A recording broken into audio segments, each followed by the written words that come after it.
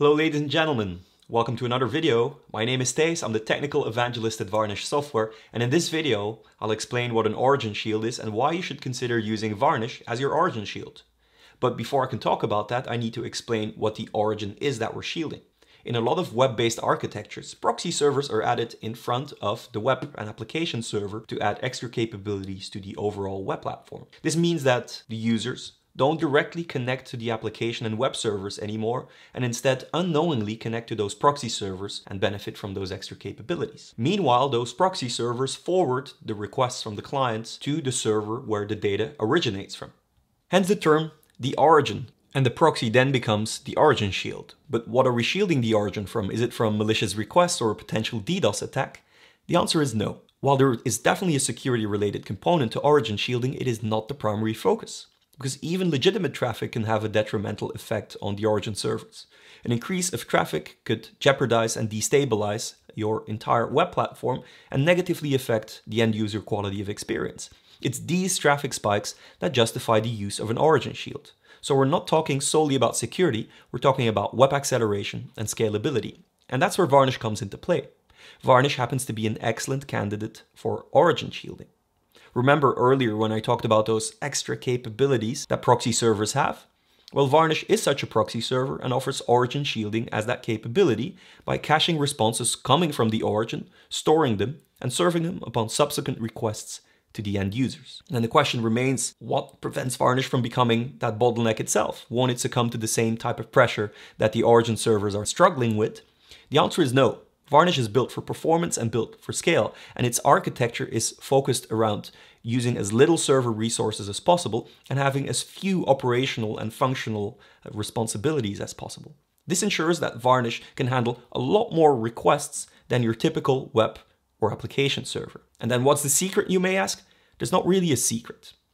Here's what we do. Varnish makes really efficient use of the available memory. It's not CPU bound at all, and it hardly accesses the disk, knowing that it is the slowest part of the system. Varnish also has a really powerful threading model that can handle a lot of concurrent requests. Varnish uses specific kernel features and specific system calls to have a very limited footprint on the system.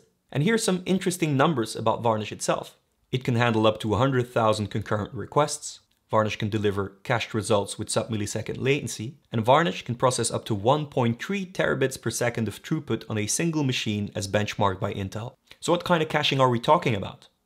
Varnish is an HTTP cache. It stores pre-computed HTTP responses coming from the origin, and this avoids having to waste server resources recomputing a result that hasn't changed. And luckily the HTTP protocol itself has built-in caching mechanisms that are conventional and standardized. Varnish adheres to these standards and allows the origin to control the behavior of the cache through a set of conventional response headers. The cache control header is the most common one.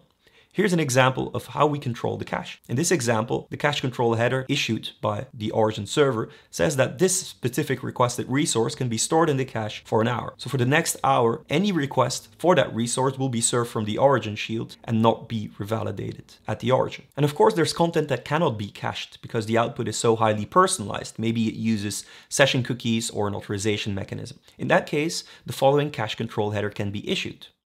The unique selling point of Varnish is VCL. VCL is short for the Varnish Configuration Language, and it's a built-in programming language that can be used to customize the behavior of the cache beyond what is possible through HTTP's built-in caching mechanisms. This means that VCL can be used for request handling, request and response manipulation, backend selection and load balancing, controlling every element of the cache, from what to cache, when to cache, how to cache, how long to cache, and many, many more. It's pretty much a language that allows you to make decisions on the edge, and it qualifies the language language as an edge compute programming language. So what's the value of using an origin shield for your organization? By shielding your origin using a technology like Varnish, you greatly improve the performance, the scalability, and the stability of your web platform while accelerating some of the slower parts of the service.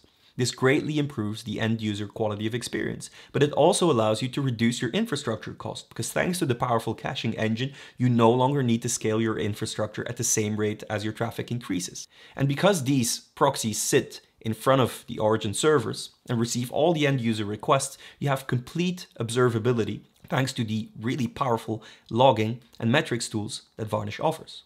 And as mentioned before, The Varnish configuration language allows unparalleled customization and even integration with other services. Because all of this is software based, you can host it wherever you want. So you can run it on any type of commercial off the shelf hardware, on virtualization platforms, in the cloud, or on cloud native frameworks. As long as it runs Linux, we're happy.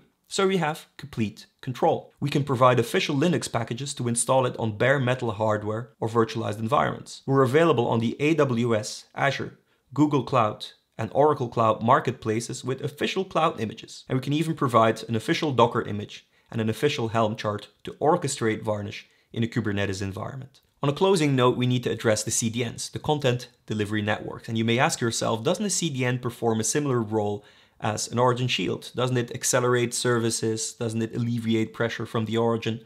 Well, to some extent, yes. Because in essence, a CDN is nothing more than a collection of reverse caching proxies like Varnish, but distributed in various geographic regions. And that geographic distribution is aimed at reducing network latencies for global audiences regardless of the location of the origin server. So while there is a level of alleviating pressure, we still see that a lot of our clients use an origin shield behind a CDN to mitigate the impact of CDN revalidation. When global cache misses occur, all these nodes sending requests to the origin may seem like a kind of denial of service attack and it justifies the use of an origin shield. So whether you're using a CDN or not, an origin shield is still an important tool in your toolbox. And that's the story for today. I hope you enjoyed it. I hope you understand what an origin shield is and what value it brings. If you want to know more about our origin shielding offer or other offers that we have, go to our website. Go to www.varnish-software.com. There is a separate origin shielding section. And if you have more questions or you want to get in touch with us, use the chat widget on our website. It will get you in touch with one of my colleagues. So thank you for watching this video and I'll see you next time.